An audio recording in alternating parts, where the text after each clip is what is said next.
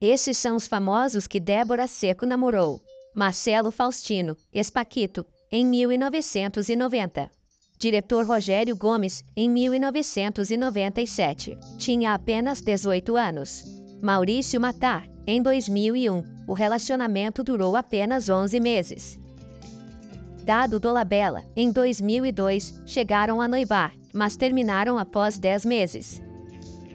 Marcelo Faria, em 2003, durante a novela Celebridade, terminaram em poucos meses. Cantor Falcão, em 2005, chegaram a noivar, mas terminaram após dois anos. Roger Flores, 2007, se casaram e separaram em 2013. Cantor gospel Alisson Castro, 2013, relacionamento rápido. Ator Bruno Torres, 2013, durou apenas sete meses. Modelo Hugo Moura, 2014, e estão juntos até hoje.